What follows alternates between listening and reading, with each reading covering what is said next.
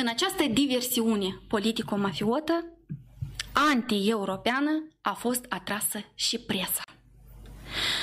Și televiziunea cu cele mai mari pretenții de echidistanță și uh, de profesionalism, care este televiziunea Pro-TV, a întrecut orice limită și a manipulat impardonabil.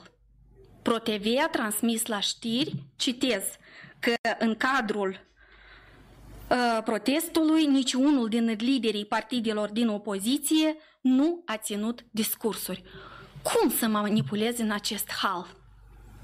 Cum să le spui această minciună telespectatorilor părții conștiente, active, pro-europene a acestei societăți, care a văzut în direct protestul și care știe că la protest a vorbit Petrenco, că la protest a vorbit uh, Ciubașenco și Năstase.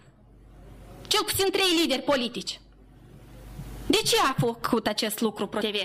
A luat Lorena Bogza o sumă de bani în schimb? Sau a îndeplinit o rugăminte a fostei colege Angela Gonța, care face acum în pas cu Natalia Morari o altă televiziune de manipulare politico-mafiotă pentru apărarea familiei Lucinski și a intereselor lui Filat.